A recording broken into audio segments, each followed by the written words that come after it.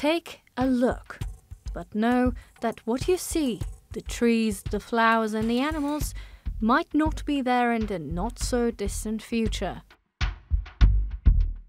This exhibition by Borusan Contemporary is comprised of works by six international contemporary artists. They all look at similar topics today's environment and what it may look like in the future. Merging their ideas with software programs, digitized landscapes, and video works, it's as if these artists are telling cautionary tales in their artworks. For instance, this piece is showing some of the chemical elements from the periodic table.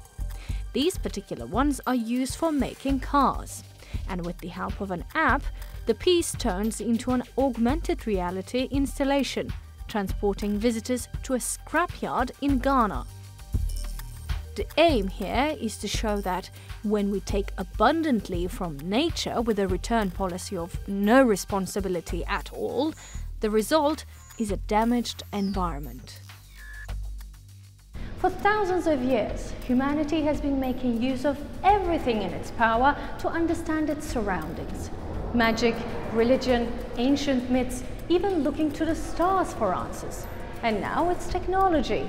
But the objective remains the same understanding nature and our place in it.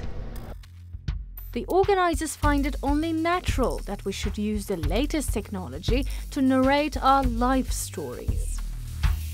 The artist is trying to express uh, his or herself to, a media. I mean, uh, all at the old time it was a stone what carving on the on the walls. Then it was the painting and it was photography. And right now we are living in a technological age. I mean, this uh, electronics.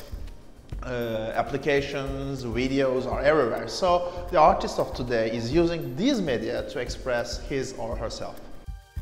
Latest studies warn that if we don't decrease our waste, in only 20 years we'll have more plastic in the oceans than fish.